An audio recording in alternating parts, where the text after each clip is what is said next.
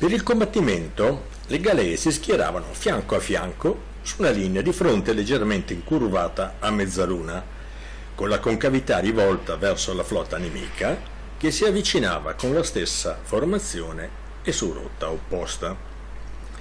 Questa formazione iniziale di combattimento era logica, poiché in essa ogni galea risultava protetta sui fianchi dalle due adiacenti e non esponeva così alle offese nemiche le sue parti più venerabili, cioè il palamento dei remi, ovvero l'apparato motore, e i rematori, ovvero la forza motrice.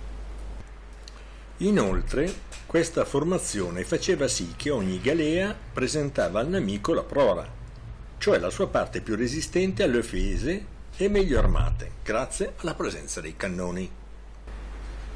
A proposito di quest'ultimi, va però ripetuto che le artiglierie dell'epoca avevano una gettata assai limitata e un lento ritmo di fuoco.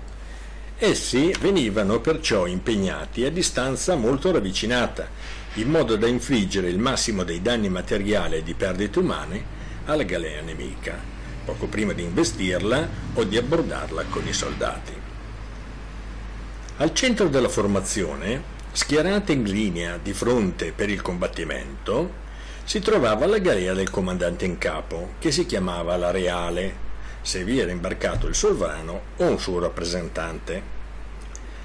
La galea dove invece era imbarcato l'ammiraglio, o come si diceva a Venezia il capitano generale da Mar, si chiamava la capitana e per farsi riconoscere portava sulla poppa tre alti fanali riccamente decorati.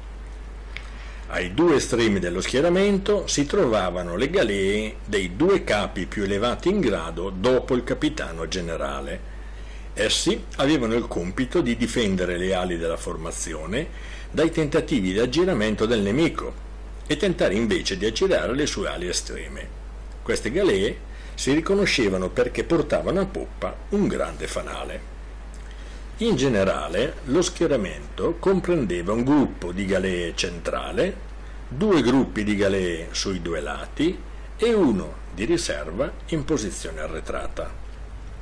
Tra i vari gruppi esisteva generalmente una distanza di circa 80 metri, mentre le galee di ogni gruppo navigavano il più vicino possibile tra di loro, compatibilmente con l'uso dei remi, circa 20 metri l'una dall'altra, in modo da potersi aiutare in caso di bisogno e da impedire infiltrazioni di galee nemiche.